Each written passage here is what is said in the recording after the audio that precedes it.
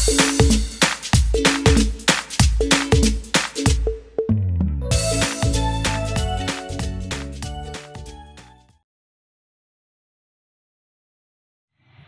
niyo ba, ang Bigan Cathedral, known as Cathedral of the Conversion of St. Paul Apostol, is a Roman Catholic cathedral in Bigan, Ilocos Sur.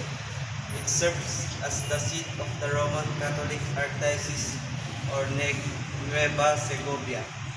It is part of the UNESCO World Heritage Site na dinektara bilang historical town By the way, a third church was burned upon the request of the Bishop Juan de la Fuente.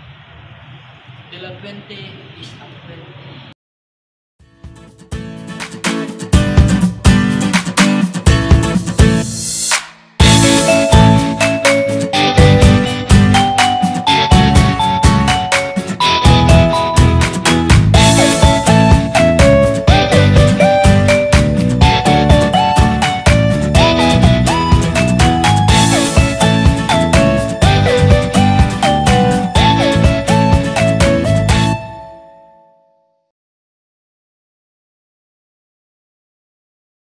Fredo Flor- Florentin Versosa, Price of Nueva Segovia, first Filipino Bishop of Lipa and founder of Missionary Catechist of the Sacred Heart.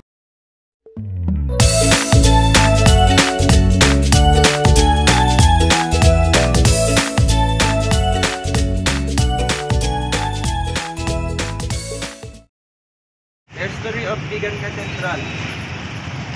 Built in 1641, this church became a cathedral when the seat of the Diocese of Nueva Segovia was transferred from Ladlo, Cagayan to Bigan 1758. Occupied by the revolutionists under Colonel Juan Villamor, 1896, and by the American forces under Lieutenant Colonel James Parker, 1899. Chapel of wood and thatch erected on this site, 1574.